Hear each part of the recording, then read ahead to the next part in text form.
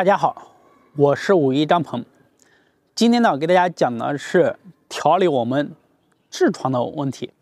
俗话说，十人九痔。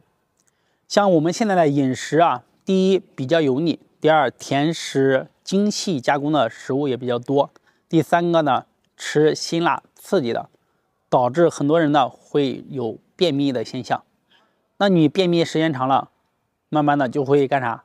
就会有痔疮，有的人内痔、外痔，对吧？与我们的生活习惯有很大的关系，再加上熬夜，所以有以上这些坏习惯呢，一定要调整好，它对你的痔疮康复是非常好的。我们不要等到你的痔疮严重了去给它割一刀，然后很受罪、很痛苦的。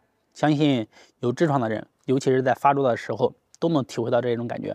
那么呢，大家可以点赞、收藏这个视频。下面呢，我来教大家怎么样去做。做这个方法呢，一定要坚持。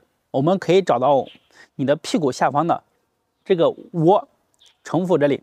好，这个地方呢，一般情况下我们用手按的时候呢，可能会比较痛，尤其是你痔疮严重的或者发发作的时候呢，这个地方好往下做这个呢。大家说，嗯，我们可能开始做手够不着怎么办？你可以稍微弯一下膝盖，基本上是可以慢慢的去。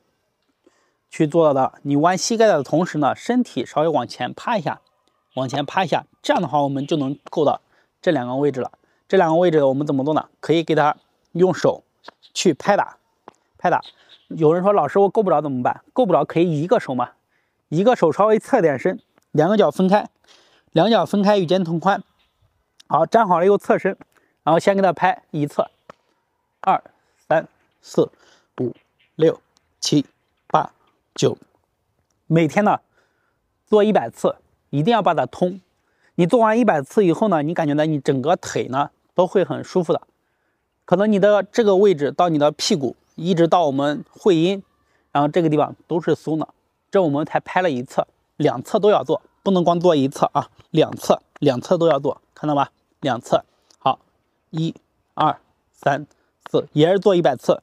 如果说你能做够着它了。然后呢，我们可以两个同时，一、二、三、四、五、六、七、八、九、十，两个同时呢，给它做一百次。拍打这个地方呢，对于调理我们痔疮呢是非常好的。所以呢，大家有痔疮的一定要认真的去做，把这里面给它拍通。